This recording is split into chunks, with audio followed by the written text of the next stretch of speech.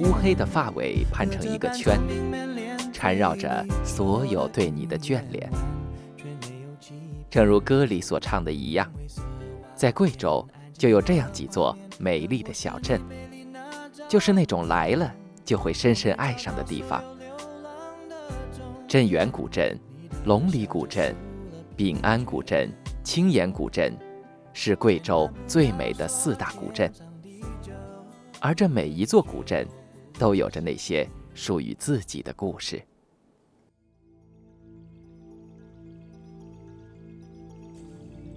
镇远有多远？在很多人的脑海中，相比中国一些有名的古镇，镇远似乎真的有些远。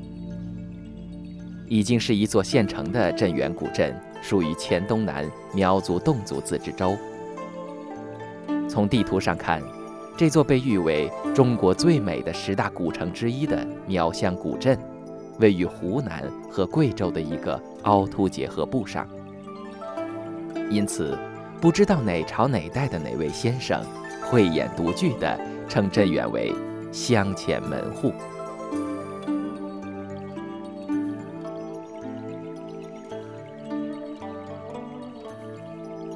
在镇远，我们可以任凭自己的思绪回转，上演一出梦回千年的戏。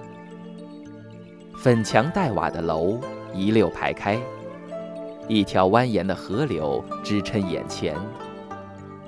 泛舟在这条河上，你会想，一条河就该是这样的，碧绿、静谧、灵气十足。镇远古镇的灵气，大概就是它赋予的吧。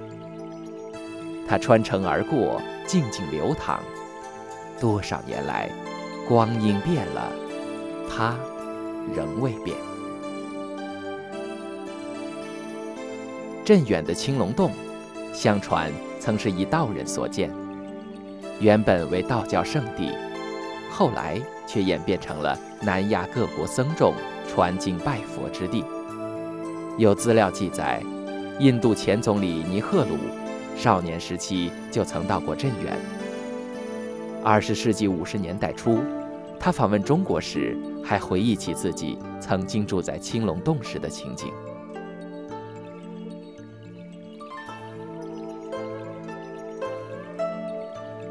脚下澄碧的水，身后葱茏的山。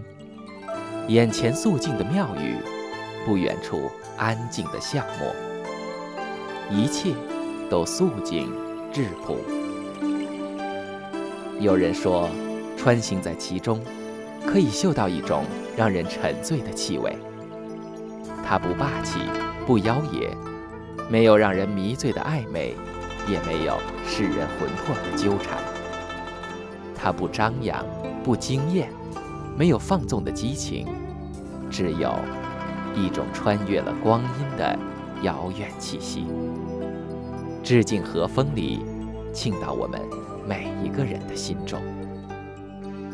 原来，蛊惑我们的，就是这悠远的宁静。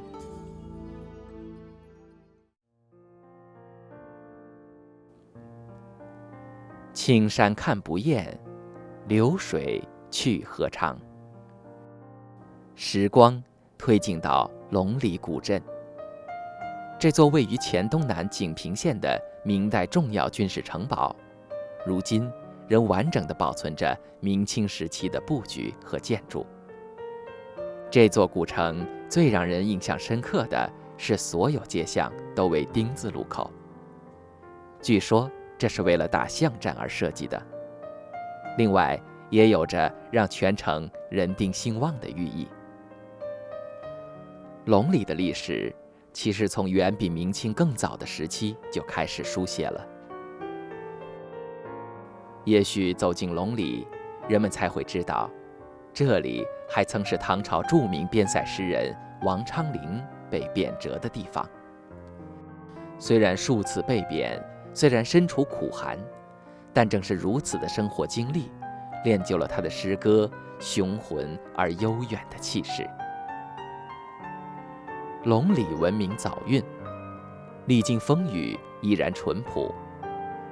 来到这里，步履竟会不知然地轻缓放慢，心境也会从久居城市的浮华躁动中悄然舒缓。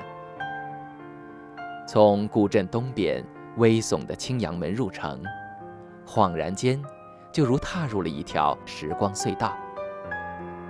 没有平遥的王者风范，也没有丽江的摇曳多姿。但是，他在崇山峻岭之间，因为静静守望，而独独生出的那份美丽、宁静而致远。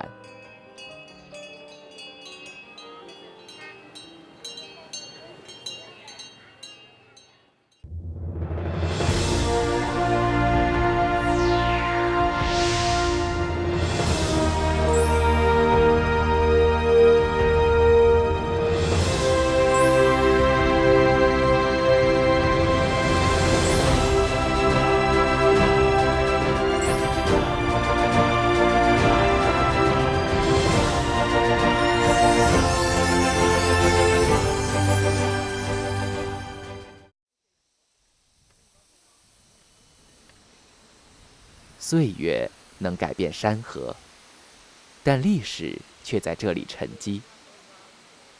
这条镇外的吊桥是丙安古镇通往外界的唯一通道，也连接了丙安的过去与现在。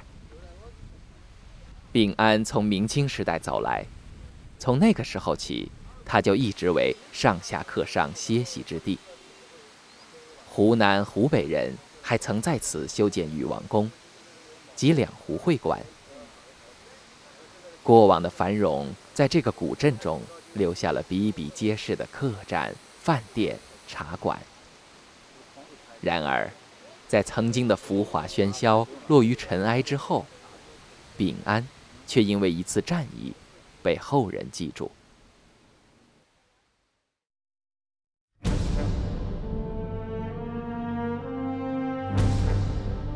陡峭危岩之上十四米，才是丙安古镇。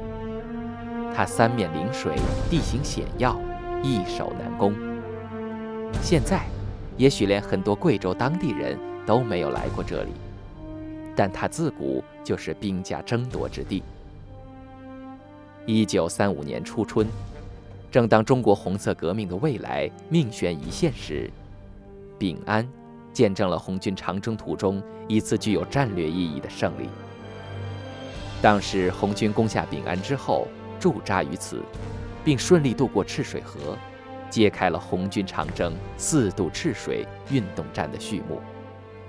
美国作家哈里森·索尔兹伯里在《长征：前所未闻的故事》中有这样的描述：长征是独一无二的，长征。是无与伦比的，而四渡赤水，又是长征史上最光彩神奇的篇章。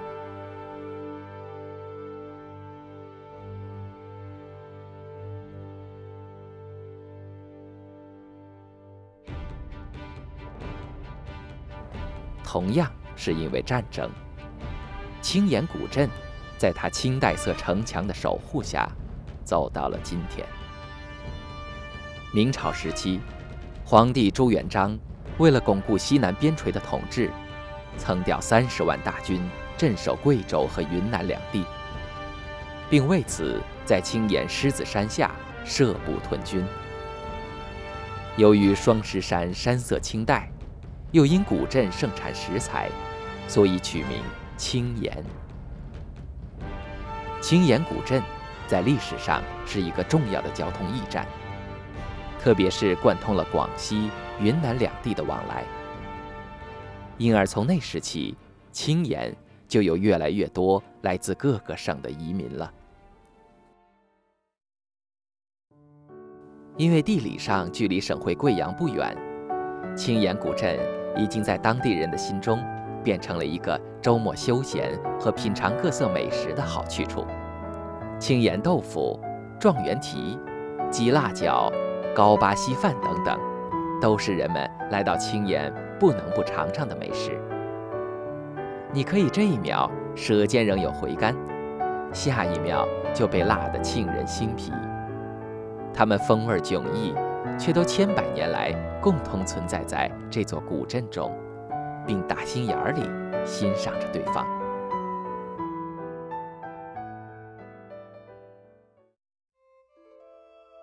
这些黔中小镇，也许你起初只是想来待个一两天，但是当你收拾行李准备离开时，会发现停留的时间已经比你原本的计划又多出了几日。